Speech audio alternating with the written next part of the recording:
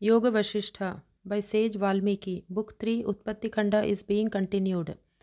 Rama said, How can the spirit that is conscious of its demerit foster any desire of its future good, and how can it profit by the pious works of others for its salvation? Tell me too whether the pious acts of others which are offered to the manes go for nothing, and whence the absence of future prospects of the unmeritorious host or the benevolent wishes of others are to effect are to take effect vasishta said. A desire is naturally raised in one at its proper time and place and by application of appropriate acts and means and the rising of the desire unnecessarily overcomes its absence. Gloss. So a shraddha done in proper session, season and manner serves to the benefit of the desertless spirit the pious gifts made on behalf of the departed souls accrue to them as their own acts, and the sense which they thus acquire of their worthiness fills them with better hopes and desires of their future state. And as the stronger man gains the better of his adversary, so the later acts of piety drive away the former impiety from the spirit. Therefore, the constant practice of pious acts is strictly enjoined in the Shastras. Rama said, If the desire is raised at its proper time and place, how then could it rise in the beginning when there was no time nor place? You say that there are accessory causes which give rise to the desires, but how could the will rise at first without any accessory cause whatever? Vasishthas replied, It is true, O long armed Rama, that there was neither time nor place in the beginning when the Spirit of God was without its will. And there being no accessory cause, there was not even the idea of the visible world, nor was it created or brought into existence, and it is so even now. The phenomenal world has no existence, and all that is visible is the manifestation of the divine intellect, which is everlasting and imperishable. This will I explain to you afterwards in a hundred different ways, and it is my main purpose to do so. But hear me now tell you what appertains to the matter under consideration. They, having got in that house, saw its inside beautifully decorated with chaplets of flowers as fresh as those of the spring season. The inmates of the place were quietly employed in their duties, and the corpse of the king was placed upon a bed of mandara and kunda flowers. The sheet over the dead body was also strewn over with wreaths of the same flowers, and there were the auspicious pots of water placed by the bedside. The doors of the rooms were closed and the windows were shut fast with their latches. The lamps cast a dim light on the whitewashed walls around, and the corpse was lying as a man in sleep with the suppressed breathing of his mouth and nostrils. There was the full bright moon shining with her delightsome lustre, and the beauty of the palace put to blush the paradise of Indra it was as charming as the pericarp of the lotus of Brahma's birthplace, and it was as silent as dumbness or a dummy itself, and as beautiful as the fair moon in her fullness. Phenomena of dreaming. Vashishta continued. They, they beheld there the younger Leela of Viduratha, who had arrived there after her demise and before the death of that king. She was in her former habit and mode with the same body and the same tone and tenor of her mind. She was also she was also as beautiful in all her features as in her former graceful form and figure when living. She was the same in every part of her bod- of her body and wore the same apparel as before. She had the very ornaments on her person with the difference that it was sitting quietly in the same place and not moving about as before. She kept flapping her pretty fan over the corpse of the king and was gracing the ground below like the rising moon brightens the skies above. She sat quiet, reclining her moon-like face on the palm of her left hand and decorated with shining gems. She appeared as a bed of flowers with newborn blossoms on it. With the glances of her beautiful eyes, she shed showers of flowers on all sides, and the brightness of her person beamed with the beams of the ethereal moon.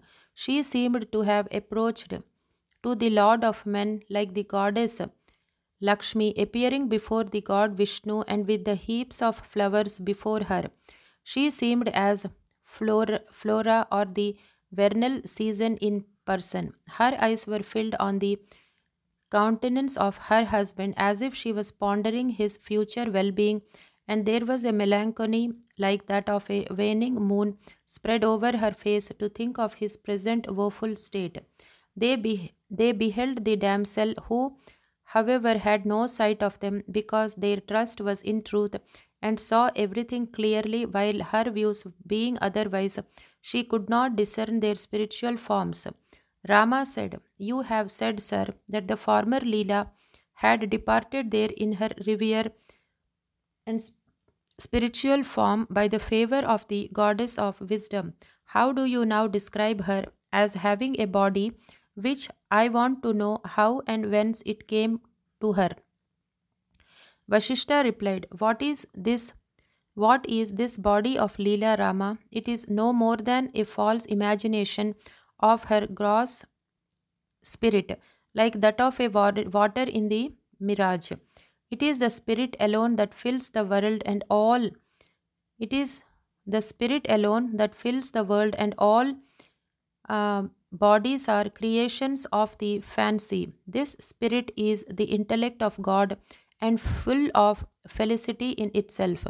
The same understanding which Leela had of herself to her and accompanied her to her future state, and the same notion of her body followed her there, though it was reduced to dust as the ice is dissolved into water. The spiritual bodies also are sometimes liable to fall into error and think themselves as corporeal bodies as we mistake a rope for the serpent. The belief in the materiality of any body as composed of the earth and other elements is as false as it is to believe the hares to have horns on their heads. Whoso thinks himself to have become a stag in his dream has no need of seeking another stag for comparing himself with. An untruth appears as truth at one time and disappears at, at another as the error of a snake in a rope vanishes upon the knowledge of its falsehood. So, the knowledge of the reality of all things in the minds of the unenlightened is dispersed upon conviction of their unreality in the minds of the enlightened. But the ignorant that have a belief in the reality of this world of dreams believe also in the transmigration of the animal soul like the revolution of the globe on its own axis. Rama asked, If the bodies of yogis be of a spiritual nature, how is it that they are seen to walking seen to walk about in the sights of men? Vashishta replied, The yogi may take upon himself various forms without the destruction of his former body, as the human soul may deem itself transformed to a stage or any other being in a dream without undergoing any change in its spiritual essence. His spiritual body is invisible to all, though it may appear as visible to their sight. It is like the particles of frost seen in sunbeams and as the appearance of a white spot in autumnal sky. Nobody can easily discern the features of a yogi's body, nor are they discernible by other yogis. They are as imperceptible as the features of a bird flying in the air. It is from the error of judgment that men think some yogis to be dead and others to be living, but their spiritual bodies are never subject to death or common sight. The embodied soul is subject to errors from which the souls of yogis are free because their knowledge of truth has pursued the mistake of a snake in the rope from their soul. What is this body and whence it is, and what of its existence or destruction? What is everlasting remains forever and is freed from the ignorance it had before. Rama said, Whether the embodied soul takes the spiritual form or is it something other than this, tell me this and remove my doubt. Vashishta said, I have told this repeatedly to you, my good Rama, and how is it that you do not understand it yet? That there exists only the spiritual body and the material form is nothing. It is by habit of constant meditation that you must know your spiritual state and subdue your sense of corporeal corporeality and as you abstain from the later so you attain to the former state then there will be an end of your sense of gravity and solidity of objects like the disappearance of the visions of a dreaming man when he comes to wake. The body of a yogi becomes a light and subtle as the evanescent appearances in a dream.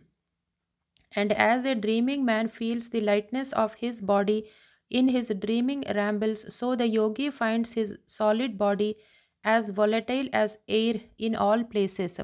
The expectation of the long life of a master head in his material body is realized in the spiritual one after the corpse has been burnt away. Everybody must have to assume his spiritual frame afterwards, but the yogi finds it in his lifetime by the enlightenment of his intellect. As a man upon his waking from sleep remembers his having an intellectual form in his dreaming state, so the yogi is conscious of his spiritual body in his own intellect. The notion of the corporeal body is a mere fallacy, like that of the snake in a rope, hence, nothing is lost by the loss of his body nor is anything gained by its protection and generation. Rama said, Now tell me, sir, what the inmates of the house thought this Leela to be, whether they viewed her as an embodied body or a bodiless apparition appearing before them. Vashishta said, They took the sorrowful queen to be some friend of the king and to have come from some place they knew not what and where. They did not like to examine the matter because it is the nature of the ignorant, like that of brutes, to believe what they see without investigation or consideration of its nature. As a stone flung at random flies off from its mark, so the ignorant flocks go astray from hitting at the true mark of a thing placed before them.